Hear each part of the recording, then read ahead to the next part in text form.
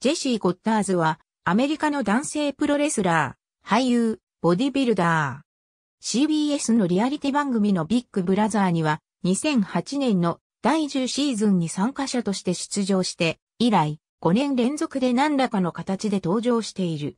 初出場となる第10シーズンでは10位となった。2009年の第11シーズンでは再出場候補の一人として登場。第11シーズンの序盤では、クリークと呼ばれるスクールの派閥をモチーフにした4チームによるチーム戦のような特別ルールで行われ、ジェシーはアスリーツへの配属となった。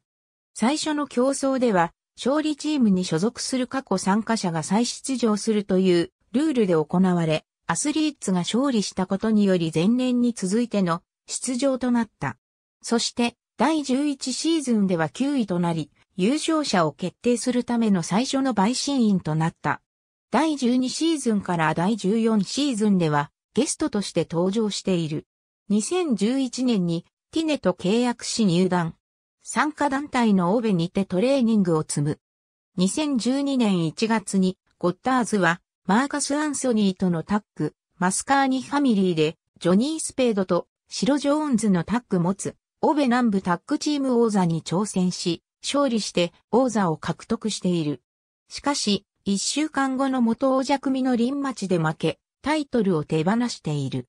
2月に、ゴッターズは、ロブテリーとルディスウィッチブレードとのタッグ、ファミリーで、ジェイソン・ウェインとシロ・ジョンズの持つ、オベ南部タッグチーム王座に、ハンディキャップ形式で挑み王座を獲得したが、4月にアナーキア・トラウルラ・モッタのタッグに敗れ王座を奪われている。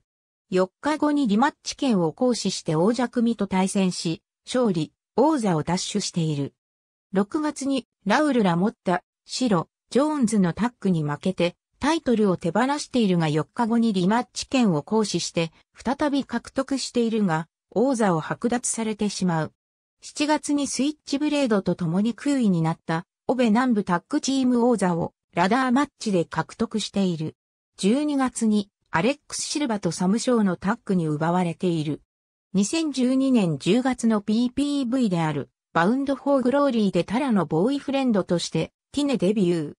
11月のインパクトレスリングで、ゴッダーズは、リングデビューし、インタージェンダーマッチでタラの介入を経て、 ODB から勝利している。試合後も ODB に攻撃し恥をかかせている。ターニングポイントでタラとのタッグでエリック・ヤングと対戦するが負けている。